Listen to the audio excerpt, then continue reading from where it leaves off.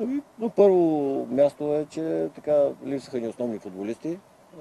Отбора на Черно море си беше така с състава, който обикновено играе, но въпреки всичко смятам, че тези момчета, които играха днеска, да видим тяхното бъдеще, дали ще останат тук, дали не. Но това беше така идеята да преценяваме какво ще правим с тях след матча с Ботев Плодив.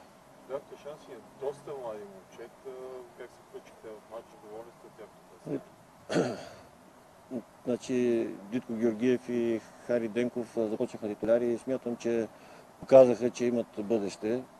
От тук зависи от така нататък от тях дали ще продължат да се трудят, да се развиват.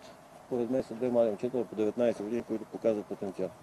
Има ли шанс за още в последния кръг на от тях като титуляри?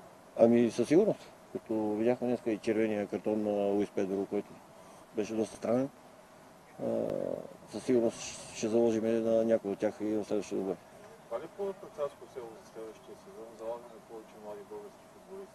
Ми, не точно, но при всички положения ще има и млади български футболисти. Ще търсим естествено и българи по-опитни, и чужденци, каквото сметнем за необходимо, че ще бъде в полза на отбора, ще бъде привлечено. Работи ли се вече по селекция или прекалено рано да коментираме? Да, работим определено. Имаме така вече доста разговори с определени футболисти.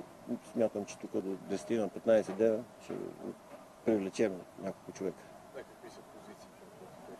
Ами, с оглед на това, че имаме двама души, които най-вероятно ще бъдат трансферирани, ще търсим играчи на тяхните позиции, на хората, които не сме доволни от тях и няма да се подават договорите, съответно ще търсим хора в техните позиции. Говорим повече за офанзивен план. Предполагам някъде, че кои футболистите. Ами не, тъй като няма нищо черно на бяло, единствено има оферти, които разговори и така нататък. Но може да кажете, че някои чужденците това. Има и българи.